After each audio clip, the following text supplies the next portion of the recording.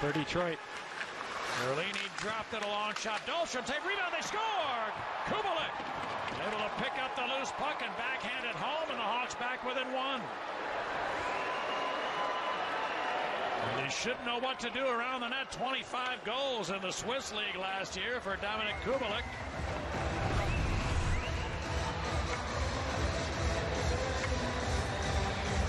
Beautiful backhand, quick developing play, but the Red Wings did not get the puck in deep.